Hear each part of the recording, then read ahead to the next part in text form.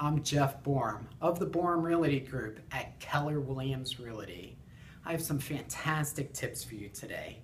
Are you a current homeowner that's looking to buy a bigger home or move to another part of town and you're just asking yourself, where do I start? Well, here's some easy tips to follow. Start out by meeting with a professional lender and get pre approved for a mortgage. Then sit down and determine what all of your must haves and wish list items are for your new home. Then get your budget in order. How much money do you need for a down payment?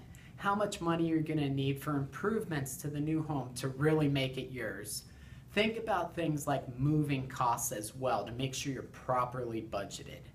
Then get your current home ready for sale. And finally, hire a professional real estate agent to help you with the sale of your current home and your new purchase. I'm Jeff Borham in the Tampa Bay market, and I hope these tips treat you well.